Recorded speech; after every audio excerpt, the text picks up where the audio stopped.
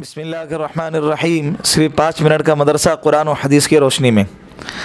दस जमात सानी नंबर एक, इस्लामी तारीख़। मशरकिन मक्का की आहद शिकनी।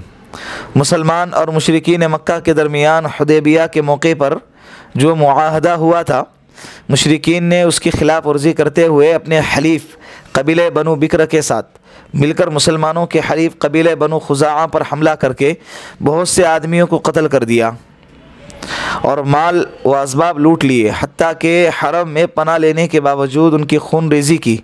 तो आप सल्लल्लाहु अलैहि वसल्लम से कबीले बनु खुजा से, कबीले बनु खुजा ने मशरकी ने मक्का की आहद शिकनी पर मदद की, अपील की। तब हुजूर अकरम सल्लल्लाहु अलैहि वसल्लम ने मशरकी ने मक्का से दियत, यानी खून बहा अदा करने या मुआहदा तोड़ने की शर्त रखी। तो उन्होंने अमन माहदा ख़त्म कर दिया। लिहाजा आप सल्लल्लाहु अलैहि वसल्लम उनकी बदअहदी और कत्ल गारतगिरी का बदला लेने के लिए रमज़ान सन हिजरी आठ में दस हज़ार सहाबा कराम का अजीम शान लश्कर लेकर मदीना से रवाना हुए और मकाम मर्रुज़हरान पहुँच कर खेमा जन हो गए। इस्लाम के सख्त मुखालिफ और दुश्मन अबू सुफियान जासूस बनकर लश्कर इस्लाम का जायज़ा लेने आए। तो हज़रत अब्बास रदी अल्लाह ने उन्हें पहचान लिया और उन्हें पकड़ कर आप सल्लल्लाहु वसम के पास ले गए। उन्हें देखकर बाद सहाबा ने कत्ल करना चाहा, लेकिन आप सल्लल्लाहु अलैहि वसल्लम ने रहम करम का मामला करते हुए फरमाया, ए अबू सुफियान, क्या अब भी तुम्हारे ईमान लाने का वक्त नहीं आया?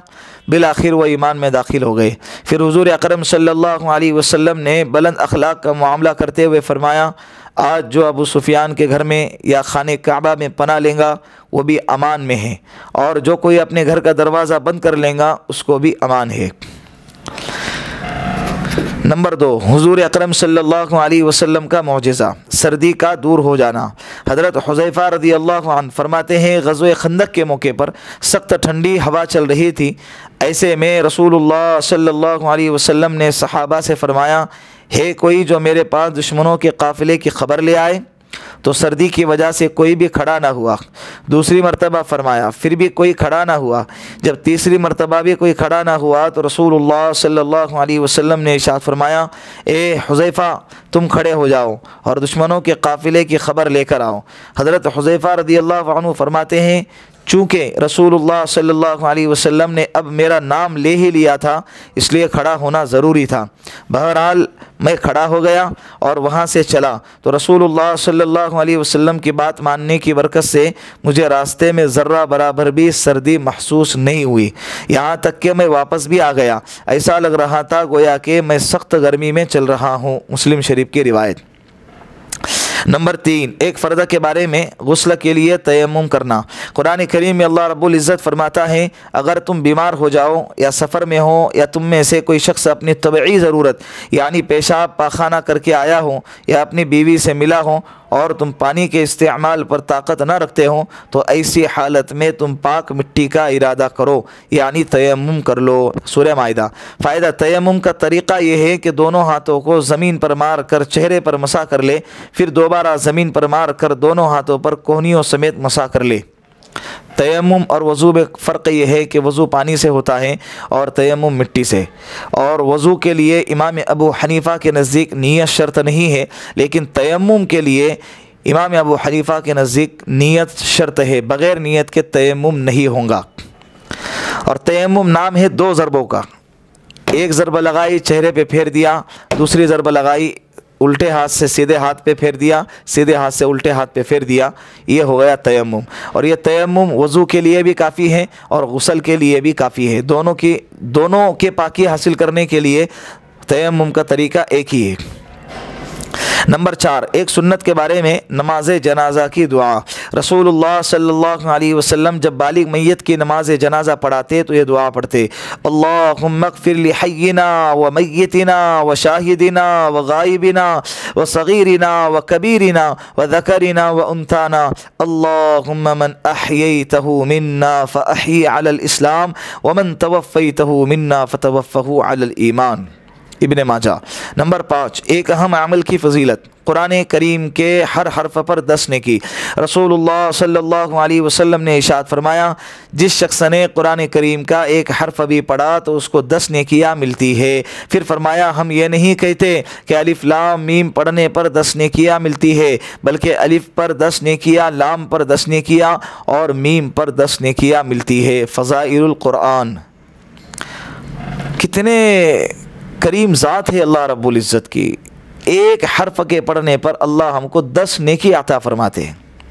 इसके बावजूद अगर हम कुरान करीम की तिलावत न करें तो हमसे बड़ा महरूम और बदबख्त इंसान कोई हो नहीं सकता। घंटों मोबाइल में लगाना हमारे लिए आसान है, लेकिन कुरान करीम को खोल के दस मिनट उसकी तिलावत करना हमारे लिए हमारे लिए बहुत बड़ा मुश्किल अम्र अम्र है।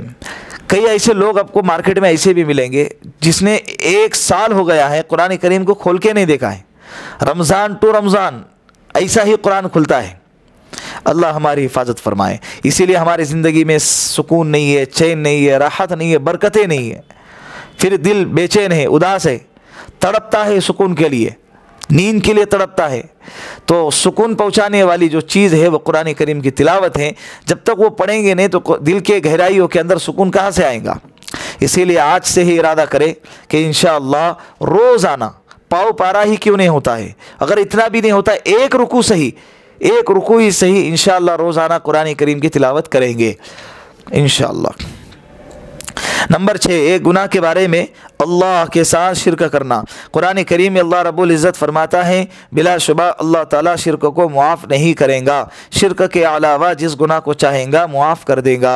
और जिस शख्स ने अल्लाह के साथ किसी को शरीक किया तो उसने अल्लाह के ख़िलाफ़ बहुत बड़ा झूठ बोला। सूर निसा। नंबर सात, दुनिया के बारे में, दुनिया की चीज़ें ख़त्म होने वाली है।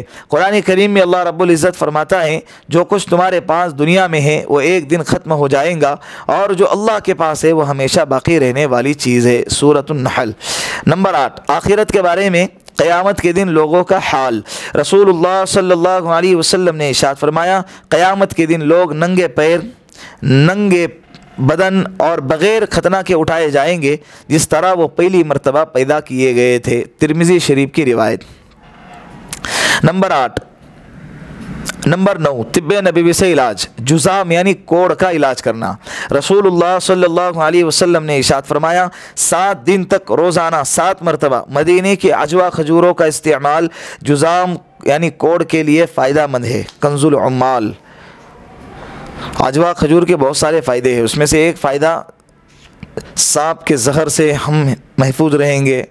इसी तरह सहर से महफूज रहेंगे। कोई जादू करेगा तो जादू नहीं होगा हम पे। नंबर दस, नबी आलतम की नसीहत। रसूल सल्ला अलैहि वसल्लम ने इशात फरमाया, जब तुम में से कोई खाना खाए तो उसे अपने उंगलियों को चाट लेना चाहिए, क्योंकि उसे मालूम नहीं कि उसकी कौन सी उंगली में बरकत है। मुस्लिम शरीफ की रिवायत। अल्लाह रबुल्ज़त इन बातों पर हम सबको अमल करने की तोफ़ी कता फ़रमाए।